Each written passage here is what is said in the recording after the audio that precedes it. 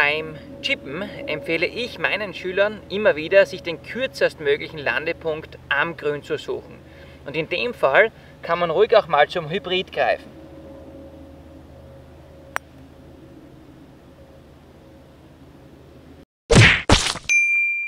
Es tut mir leid, doch ich muss leider gestehen, es gibt Dinge auf der Welt, die sind leider geil.